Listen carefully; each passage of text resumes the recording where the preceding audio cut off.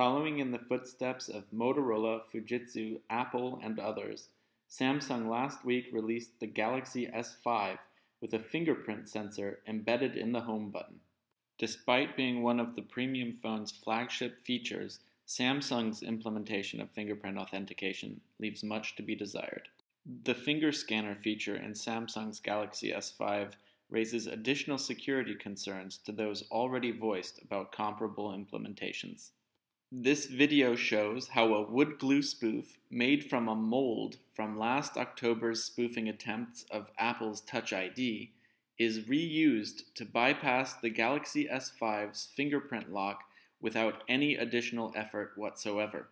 The spoof was made under lab conditions, but is based on nothing more than a camera phone photo of an unprocessed latent print on a smartphone screen. Perhaps most concerning is that Samsung does not seem to have learned from what others have done less poorly. Not only is it possible to spoof the fingerprint authentication even after the device has been turned off, but the implementation also allows for seemingly unlimited authentication attempts without ever requiring a password.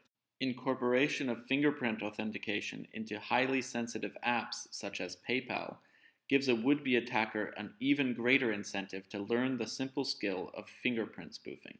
Once he has allowed the phone to connect to the internet, the attacker in this video is able to use PayPal's new app to perform any task he wishes, including making purchases and unsolicited money transfers from the victim's PayPal account. He takes advantage of the fact that he has allowed multiple attempts to make a successful swipe with his spoof and proceeds to wire money to himself from the victim's debit account. While biometrics will always carry with them a trade off of security for convenience, it is the manufacturer's responsibility to implement them in a way that does not put their users' crucial data and payment accounts at risk.